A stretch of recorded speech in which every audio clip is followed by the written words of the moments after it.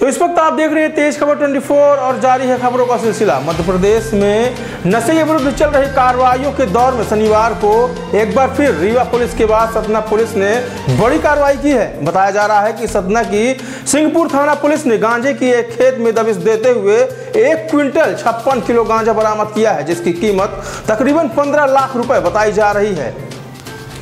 कार्रवाई को लेकर सिंहपुर थाना प्रभारी उप निरीक्षक राशि रोहित ने जानकारी देते हुए बताया कि पुलिस अधीक्षक के निर्देश में मुखबिर से प्राप्त हुई सूचना के बाद ग्राम कचुआ निवासी बेटू उर्फ़ राजा भैया गौड़ के घर में दबिश दी गई, जहाँ पाया गया कि आरोपी ने घर के बाहर बारी के अंदर गांजे के पेड़ लगाकर रखा है। पुलिस ने मौके से एक क्विंटल छप्पन किलो गांजे के हरे पेड़ जब्त किए हैं और आरोपी बेटू को भी गिरफ़्तार कर लिया गया है। मामले में आरोपी के विरुद्ध एनडीपीएस एक्ट के तहत अपराध दर्ज कर कार्रवाई की जा रही है।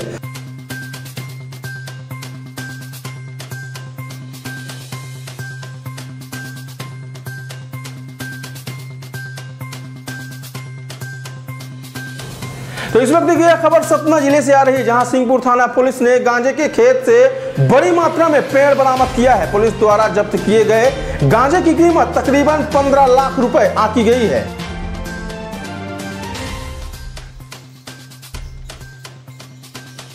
की की लगाया हुआ है, जो उसको बेचने वाला है, काटने वाला है। तो सूचना पे फिर मैंने अपने वरिष्ठ अधिकारियों को सूचित करके रेड कार्रवाई की, दबिश दिया।